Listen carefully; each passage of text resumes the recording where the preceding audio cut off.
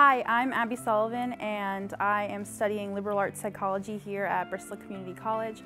Urinetown is set in a town like any other town, they'll say, and there's been a bad drought for 20 years, so everyone has to pay to use the bathroom.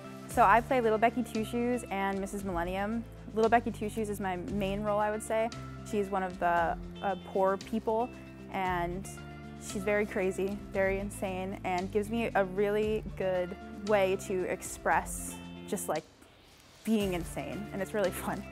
So you can come on down and watch us perform in Urinetown on April 13th, 14th, and 15th at the Main Stage at Bristol Community College at 7 p.m. And if you would like to buy tickets, you can purchase them at bristolcc.edu backslash theater.